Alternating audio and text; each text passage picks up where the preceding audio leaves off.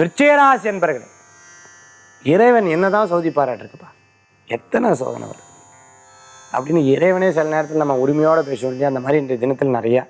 யாராவது உங்களுக்கு சொடிக்கிற மாதிரி பேசிட்டா உடனே வருத்தம் இருக்கும். கொஞ்ச நேரம் பேச மாட்டேன். அப்புறம் பேசுவேன். குழந்தைகளுடைய ஆரோக்கியத்தில் அக்கறை எடுப்பேன். வீட்டில் வளர்க்கக்கூடிய பிராணிகள் ரொம்ப கவனமாக பார்த்தோம் பெரிய பிரச்சனையை ரொம்ப அழகாக சால்வ் பண்ணுவேன்.